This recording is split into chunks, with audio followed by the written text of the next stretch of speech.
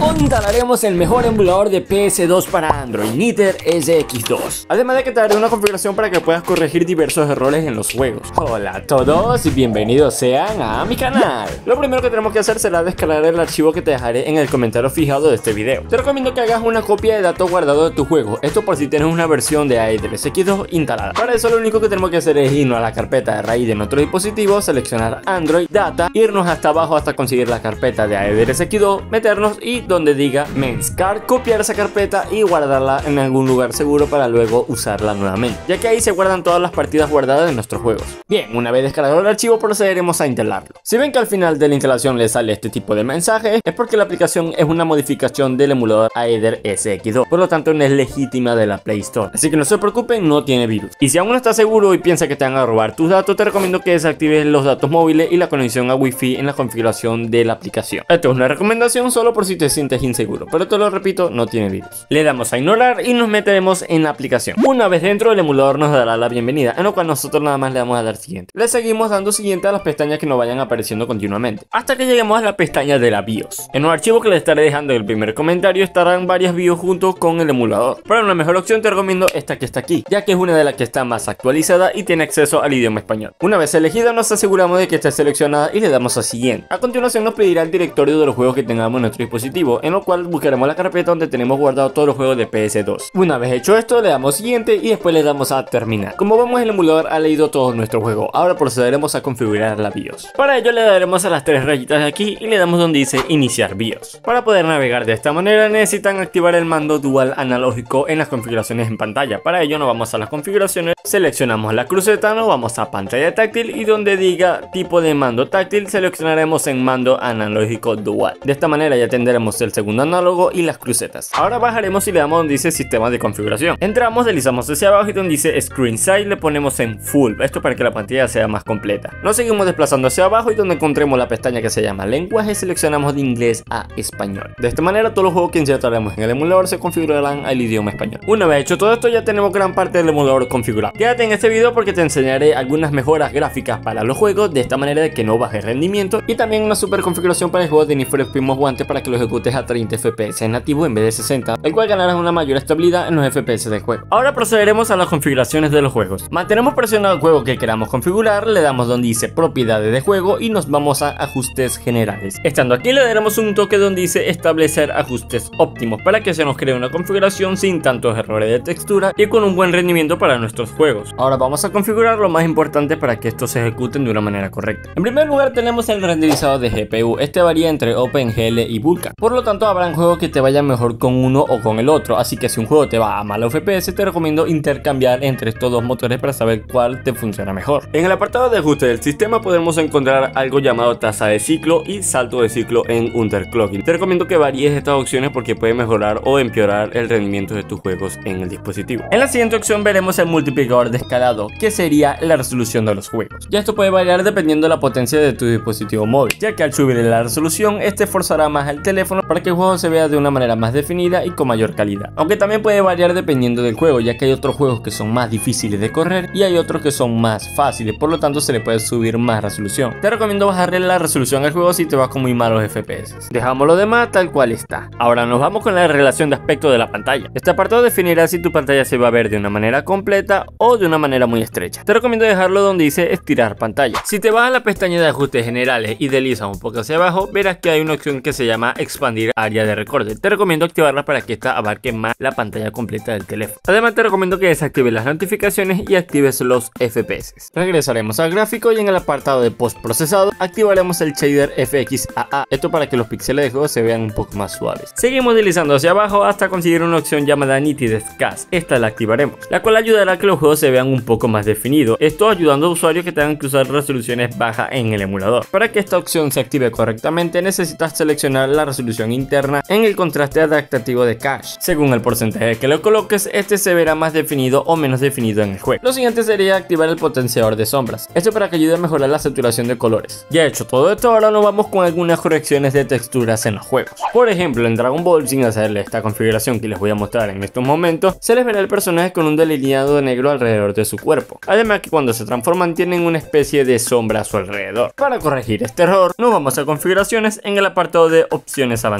Aquí en el apartado de Hardware Fixes lo activaremos y activaremos las dos primeras casillas, alinear sprite y mezclar sprite. Después bajaremos hasta encontrar el apartado de desplazamiento X o Y. Aquí le activaremos las dos casillas y le colocamos en una 250 y en la otra 280. Ya con eso el error estaría solucionado. Ahora en Need for Speed el error sería en el apartado del sol, pero para solucionarlo sería casi de la misma manera. Nos vamos a opciones avanzadas, activaremos el Hardware Fixes y lo dejaremos de esta manera predeterminada. Bajaremos y donde llega desplazamiento de Hals Pixel lo activaremos en especial textura. De esta manera ya el error estaría solucionado. Si en algún momento llegan a tener errores gráficos con algún juego, prueben moviéndole estas opciones para ver si logran solucionar dichos errores. Ya hecho esto, ahora nos vamos con la super configuración para Need for Speed Most Wanted. Esto para que el juego se ejecute a 30 FPS en vez de 60 y obtenga una mejor estabilidad de FPS. Lo primero que les será mostrarles que el juego antes se ejecutaba a 60 FPS. Claro, el juego aquí se ve lento, se ve 35, 40 FPS, pero es porque el juego no alcanzaba su tope de FPS máximo debido a que cuesta correr mucho este juego en Android. Por lo tanto va muy mal. Lo primero que tenemos que hacer será irnos a la configuración del juego. Para ello lo mantenemos presionado, le damos a propiedad del juego y en el apartado de índice veremos un código el cual es el nombre del juego en las configuraciones. Memorizaremos el nombre, nos vamos a la carpeta raíz de nuestro dispositivo móvil, Android Data, en la última carpeta Aedres X2 y nos metemos aquí donde dice Game Set. Como vemos las configuraciones del juego de Need es este que está aquí, ya que coincide con el nombre que estaba en el índice del juego. Lo que haremos será abrirlo, pero lo vamos a abrir con una aplicación llamada Text Editor, lo puedes conseguir en la Play Store. Lo abriremos y como vemos nos aparece un poco de nombres y números en esta lista, pero nos vamos a enfocar en uno que se llama emucore slash gs. Una vez encontrado vemos que hay dos partes que dicen framerate NTSC y framerate PAL, además de que dicen 60 y 59 FPS. Lo cambiaremos por 30 y 29 FPS. De este modo el juego se comenzará a ejecutar a 30 FPS. Ya modificado el archivo le damos en la flechita y le damos donde dice Save Over. Ya con esto nos podremos regresar al juego y como vemos el juego ya se está ejecutando a 30 FPS y con una mayor estabilidad de velocidad. Esto se puede aplicar en algunos juegos, hay otros que dan crash y hay otros donde sí funciona correctamente. Si en este caso en el juego de Need for Speed te llega a dar crasheo, intenta hacerlo tal cual te lo muestro en el video sin modificar nada más aparte, porque de lo contrario se te puede colgar el juego. Por aquí al lado te estaré dejando dos videos en cuanto a la emulación en Android. Si te ha gustado el video, por favor suscríbete y activa la campanita. Sin nada más que decir, gracias por su atención y nos vemos hasta la próxima.